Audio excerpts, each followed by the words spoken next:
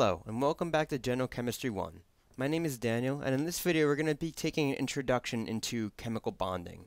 That's how, mul how multiple atoms can form bonds between one another, and thus be attracted and held together.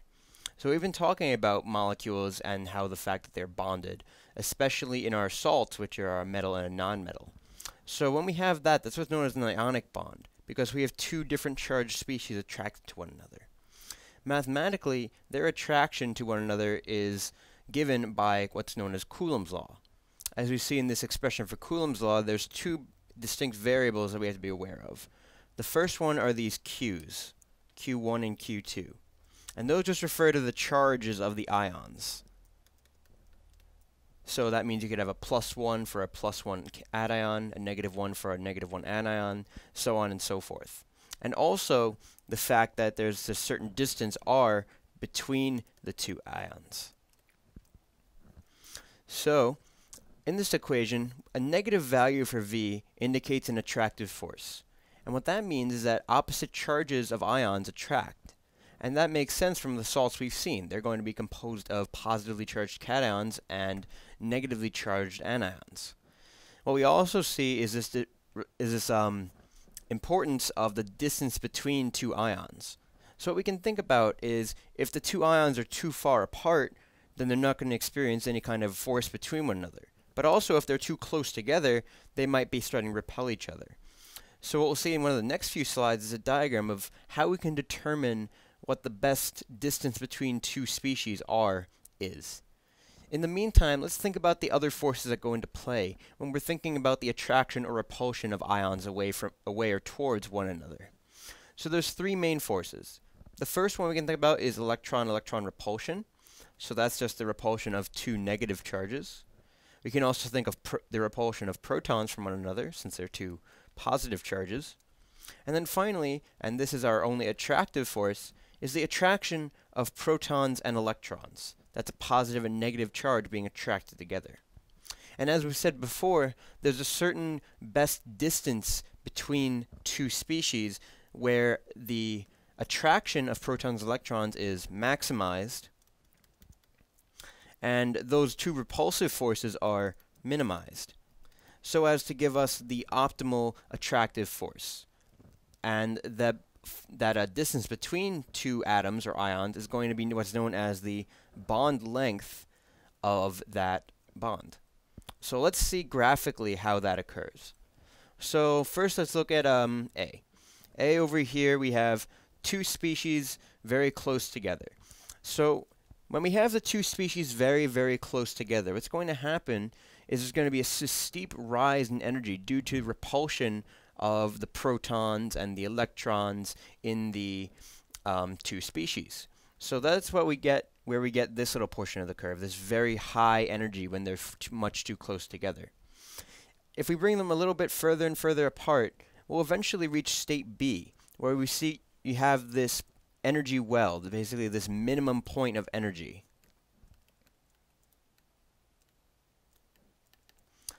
So the formation of a bond is only going to occur when it's energetically favorable to do so. That means that the energy of the two ions or atoms in a bond has to be less than it would be with the two far apart. That's the entire reason why a bond forms. So at point B, this is at our bond length when we have attractive forces maximized and repulsive forces are minimized.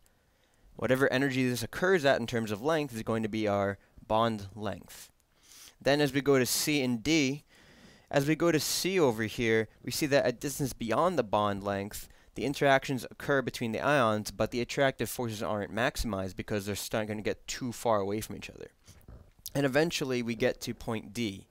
Our baseline energy, our zero point, it, because since our uh, energies on this scale are all relative, our zero point comes when our two ions are at infinite distances away from one another, meaning that they would have no interaction between one another.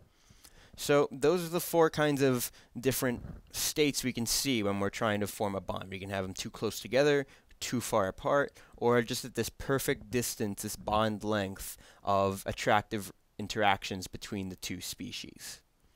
So that's how you can determine a bond length energetically. let's now look at covalent bonds. So in the, this the previous graph applies to both ions and in covalent bonds. But there's a small difference. As we've said in a previous video, ionic bonds involve a transfer of electrons, but covalent bonds involve the sharing of electrons between two atoms. The degree of which those electrons are shared is determined by electronegativity. So as you recall, electronegativity is just the strength of attraction an atom has towards shared electrons in a covalent bond. So what that means then is that if you're bonding together two non-identical atoms, you're going to have a non-equally shared, sh non-equal sharing of electrons. Let's say you had something like carbon bonded to carbon. Well then, their electronegativities are the same the, the difference in electronegativity is zero. And so the bonds, the electrons there would be perfectly shared between those two carbons. However, in our oxygen-hydrogen sample we see here, there's a significantly large um, electronegativity difference. This is what leads to what's known as a dipole moment in that bond. A dipole moment is just another word for saying that we have partial positive, partial negative charges that are occurring and we can draw that like so. So what that arrow means is that we have a positive charge, partial charge on the hydrogen and a negative partial charge on the oxygen. And that's just because oxygen has a greater electronegativity. And so the shared electrons in that covalent bond between them is going to lie closer to the oxygen. And this give, will give rise to another, another phenomenon called polarity, which we'll see later in the video. For now, we can talk about three types of bonds we've seen. There's ionic bonds, which involve the full transfer of electrons between species. That's going to occur in the um, bonding of anions and cations between one another, because those are fully ionized species. And so these ionic bonds contain the highest electronegativity difference, with usually with metals and nonmetals, given about above 2. Polar covalent bonds are shared electron bonds but there's a dipole moment in those bonds, meaning that there's an electronegativity difference, so that means the more electronegative atom is going to have its greater sharing of the electrons in the covalent bond. And so that's just known as pol polar covalent bond. And obviously this difference is going to be more great when um, the electronegativity difference is greater. And then finally we have nonpolar covalent bonds, which is just bonds between identical atoms. So when that occurs, there's no electronegativity difference, and hence the electrons are completely and equally shared in between the two atoms in the bond. Okay, so those are the three kinds of general bonds we're going to be talking about in this course. What we're going to primarily focus in on now, since we've been talking about a lot about ionic species in the previous videos, is we're going to be talking about our covalent bonds, our polar covalent and our just normal covalent bonds. So when we're looking at dipole moment in particular, it's useful for us not to look at individual bonds only, but the dipole moments that occur throughout a molecule. This can give rise to molecular polarity or molecular nonpolarity. So let's first define those two terms. So if we have a molecule with polar covalent bonds, but has multiple dipole moments that cancel out one another, that's going to cancel out all of the dipole moments.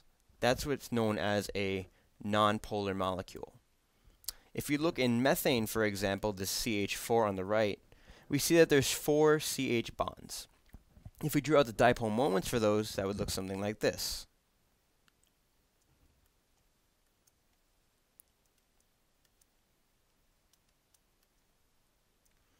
So what we can see here is that each of these bonds is a polar covalent bond, right? But due to the symmetry of the molecule, the dipole moments are going to cancel out. We see that this one would cancel out with that one, and top down, this one would cancel out with this one. So that's what makes this molecule a non-polar molecule. And we can see that's because this molecule is also symmetrical. Symmetry is what give, gives rise to nonpolarity in a molecule.